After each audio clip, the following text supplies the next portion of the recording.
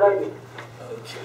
I'll call to order the Elk Creek Fire Protection District regular, Directors' regular meeting, Thursday, August 14, 2014, at 18:05. Director Branch, will you lead us in the Pledge of Allegiance? Certainly. I pledge allegiance to the flag of the United States of America, United States To the republic for which it stands, one nation, under God, indivisible, with liberty and justice for all.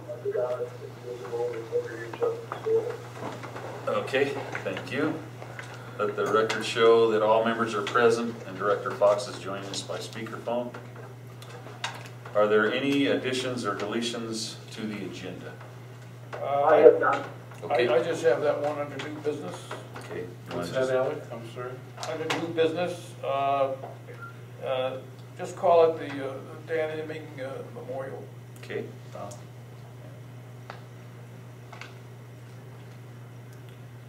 Any other uh, additions or deletions? I don't have any, I'm good, I'm good. All right, so, Nothing here. okay. Seeing none, I'd entertain a motion to approve the agenda. So moved. Second. All those in favor? Aye. Aye. All right, motion carries. That'll take us to our first item, in the interest of time, is our legal update. All right, I don't have a lot, in fact, I almost didn't come, but there was that real estate thing popped up and I kind of thought, well, I ought to at least come by. I think everyone got the, um, um, uh, well, and for the audience, um, there's a property adjoining this property that is uh, going on the market, and uh, we were made aware of that by a um, local realtor, and so I uh, gave that information to deputy chief, the chief, and the board, and um, we, uh, uh, you know, looked at it, uh, everyone saw it as a possibility, because this building, if it's not too small now, will be too small eventually, and, and we need to, uh, and we're kind of landlocked here. So um, uh, that was the, the reason that this uh, realtor, who was a former firefighter here at Elk Creek, uh, called me up because he, uh, he was aware of that situation. So, but the chief responded and just said, you know, for um, uh, a number of reasons, it just wasn't the right one. He says, yeah, we need more parking. That's too low, really, to do any parking. Um, As far as expanding the building, it may be that this building should be expanded at some point, but he doesn't see it as a high priority, and given the financial uh, stress that, you know, this district has been through, this is really the time to start looking at, at that. So, um, and then Mr. McGinnis also raised the issue about um, if the board wasn't gonna use the Blackfoot property that was purchased, uh, I'm gonna say 10, 11 years ago, um, uh, then, um, then you could perhaps sell that to generate funds to help pay for this one. But um, uh, again, the chief responded, and deputy chief's here, so he can say what he wants to as soon as I'm done, but um, was that, you know, that's still a possibility depending on the automatic aid from Evergreen out of their station five, six, whatever it is. It's, anyhow, their so- South 73 station, um, uh, which has pretty good access, um, you know, up Black Mountain as well as we do. So from your station four, um, the problem with all of that is your station four and their station, whatever number it is, six, I'm gonna call it, um, isn't that close, uh, and isn't manned, so therefore there is some time delay. But, um, anything up on Black Mountain's not gonna be manned either, so, you know, you've got those issues. So, uh, Chiefs thought, as I understood his email, he never said plus or minus, he leaves that to you guys, but, um, Chief's thought was that this was not necessarily a, an opportune time to be looking at the purchase of that real estate, so. uh, Chief, is that kind of your sense of it? Yeah, I'm, I'm in agreement, everything in that email, I'm pretty much in agreement, I just don't, you know, yeah, we, we probably do need to expand or remodel this, but I mean, I would much rather see the money spent somewhere else than purchasing that adjoining property, just at this time. We've got, I think we have a number of other things we could spend money on before that. More priorities. Yeah. And that's basically what Chief said. Yes. Okay. You know, I thought it was a good exchange, but I thought, I mean, that property, I believe, has come up twice in the thirty-seven years I've been involved with this district, and so, um, you know, it may be another 15, 16 years or more before it comes up again.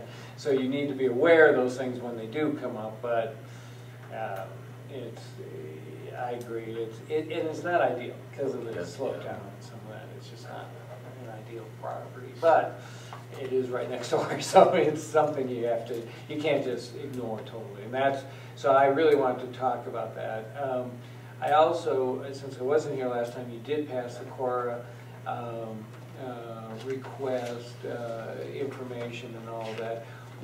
I think that, um, you know, we've seen it already in place in some other districts, and it is going smoothly, and people understand much better what a CORA request entails and all that. So I, I appreciate that that got taken care of at your last board meeting, and, and pretty much handles. And I think that may be it, I can't think of anything else. Um, and Marie and I kind of ran through some other things, but I really don't think there's anything that is, you know, requires my attention. I will not be here in October, so if there are pension issues, I would appreciate you letting me know. And we either ask the two pension board members to come um, uh, to the September meeting, or we hold a special meeting or something like that. But I will not be here, I'll be out of town on, on your uh, October meeting, which is your pension board meeting, so. Did you review that uh, resolution for the pension contribution we're voting on? Is Yes, that- okay, I have, that and all I've uh, gotten back, uh, and I, I think that's, we've reviewed it for a number of districts and, Okay. and- and strongly recommend it. It's really up to the chiefs, it's just that you all have to go along with it, but it's, you know, it's the chief that's putting in more money into the pension, it's not you Right, putting in the more money. employer So there's no budget questions, there's no TABOR question, there's no money, uh, taxpayer money being spent on it. It's, it's, um, the paid personnel's, uh, I happen to know a little bit about this. adding more money to it. And so Hopefully, so they get some money, is the concept, so. Okay. Uh, Yeah. I'm paying for it, not my employer. Yeah, that's it, exactly. So, Yeah, which So is it's- kind of a no-brainer, right? I mean, I want, I'm But- taxing myself, let's go with it, so. Okay. So that's all I have, so I'm just, you know, here, if there's questions uh, from the board. Stan, do you have any questions for the attorney? Actually, Mike, I have to admit, in all fairness, I didn't hear a word Richard said. Oh, I'm sorry. Um, Did you have any questions on the email about the property coming for sale next door? Uh, no, I, I, uh, really appreciated Chief McLaughlin's, uh, comments, and I think we should, uh, follow his recommendations. Okay, that's pretty much what uh, Richard said too. Oh, okay. Well, nice to know I'm in good company. You have any questions for him on any other topic? No, Okay, Alec? Good. Gentlemen? Good. Thank you. All right, well, I will see you next month, and then, uh, not for a couple of months, so. Okay. Okay. All right. Thank you, Richard. Okay, uh, next, uh, review uh, the July 10th regular meeting minutes. Good. Oh, you did too? I didn't know you had.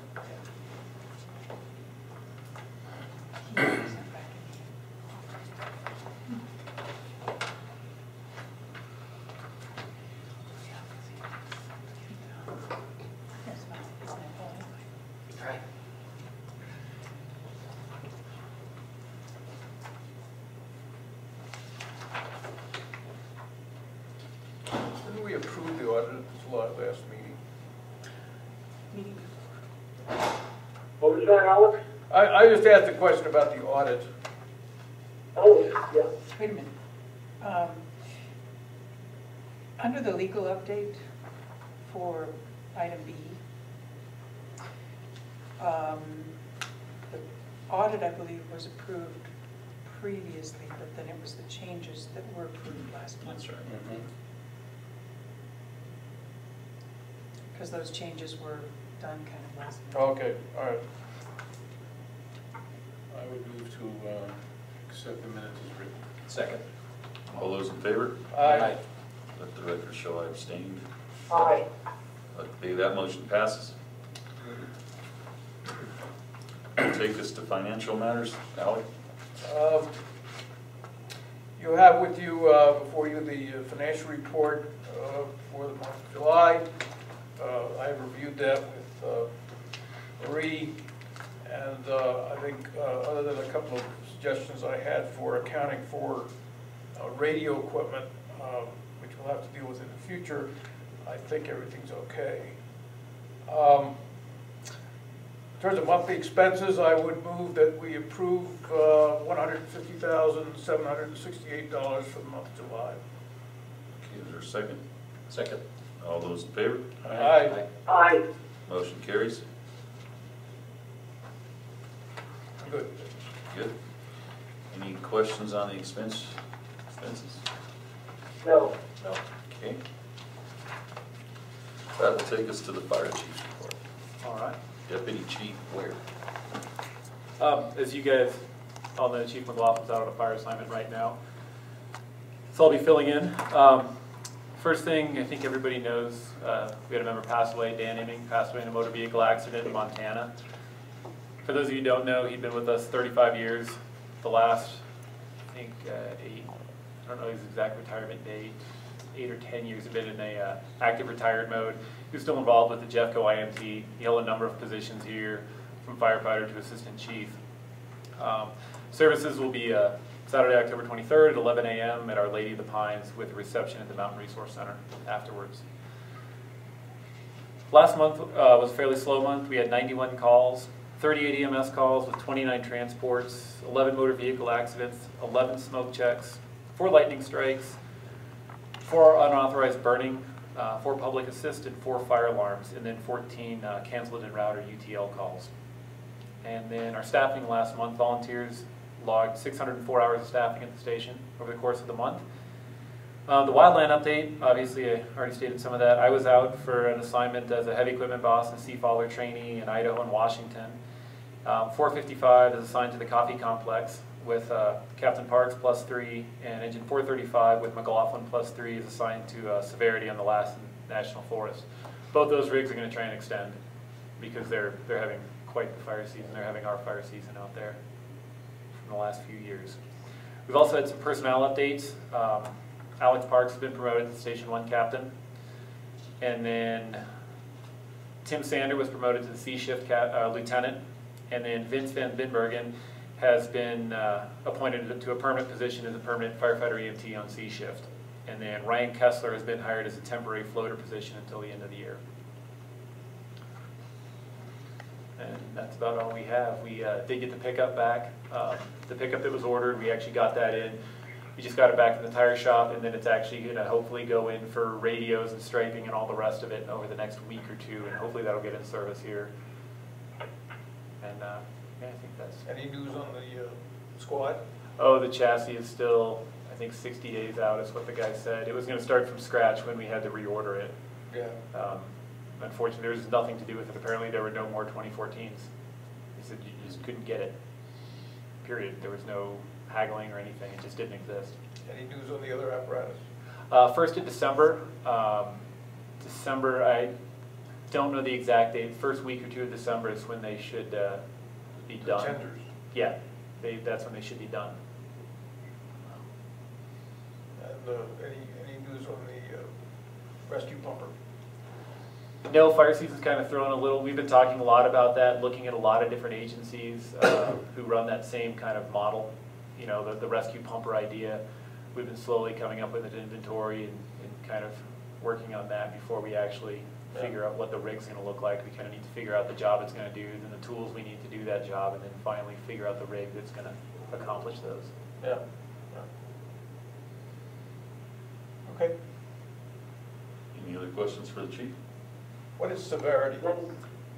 Um, what severity is, and we, we usually end up with it here in Colorado. Uh, severity is when fuel, fuel moistures and fire conditions reach such a critical point that uh, the Forest Service and the BLM always freeze up some extra money to bring in extra resources so they can hit small things hard, so they always have a lot of resources on.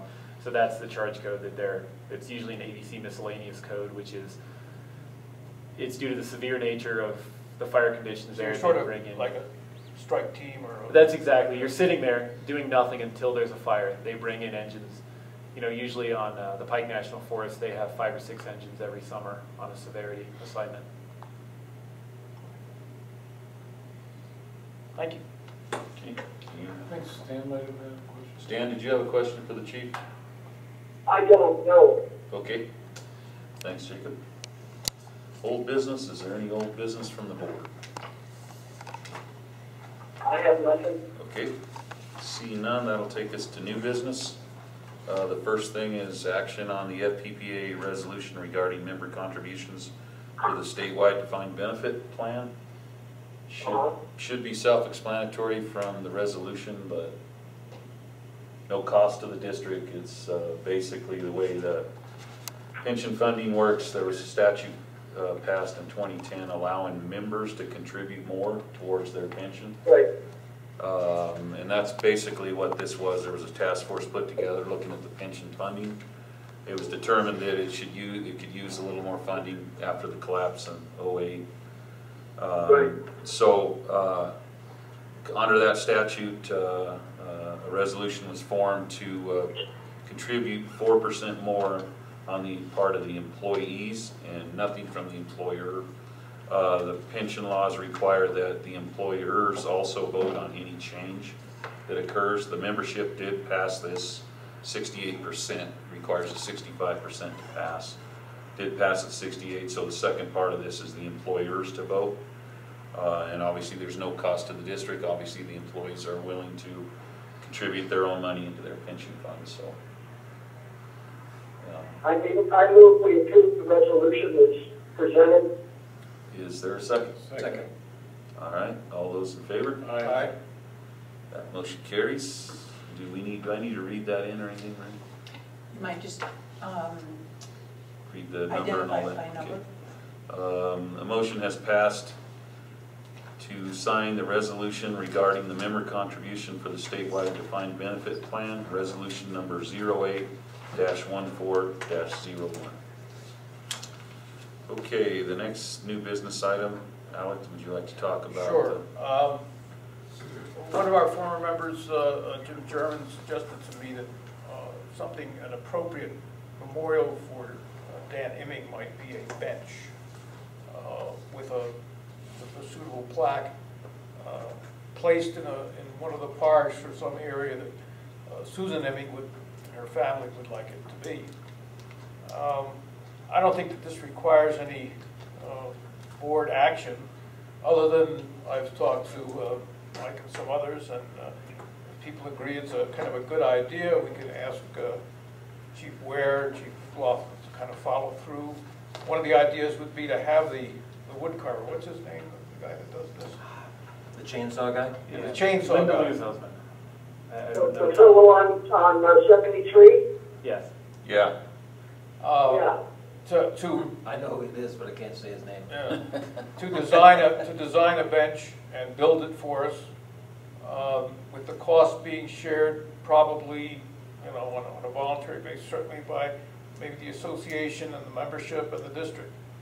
And then that would be our tribute to, uh, to Dan. So again, I'm not asking for any board action, I think it's, you know, just something we ought to, if people like the idea, we ought to just move ahead on it. so we'll direct the chief to explore that option. Yeah. Okay, All right. I have a feeling it's unanimous feeling of the board. yes. All right. Thank you. Uh, any other new business from the board? Will, uh, the department be doing anything, participating in any way at his memorial? At Dan's memorial? Um, yes and no. We'll be there. There's, uh, we're going to have an honor guard. Uh, we unfortunately don't have an honor guard within Elk Creek. The honor guard is going to be made up of probably some red, white, and blue and South Metro firefighters. Uh, Perry Otero from Inter-Canyon is going to be playing the bagpipes. And, you know, we're, we're going to be there in uniform, but we're not necessarily going to take a proactive role. There will be no procession or anything like that. Okay. All right, that's, uh, nice, understated, but very nice. And we are gonna try and help uh, with the, uh, with the reception. Uh, We're gonna, I forgot what food items we're gonna be providing, something or other, Food, yeah. something. We've sent We'll be out- assisting we've with sent out the an- food An inquiry for stuff. volunteers. Okay, any other new business? See none, uh, any citizens issues tonight? Seeing none, I'd entertain a motion to adjourn. Second? All those in favor? Aye. At, Aye, at eighteen twenty-five, we're adjourned. Thank you, Stan. thank you, Thanks, Stan. See you Bye. later. thank you.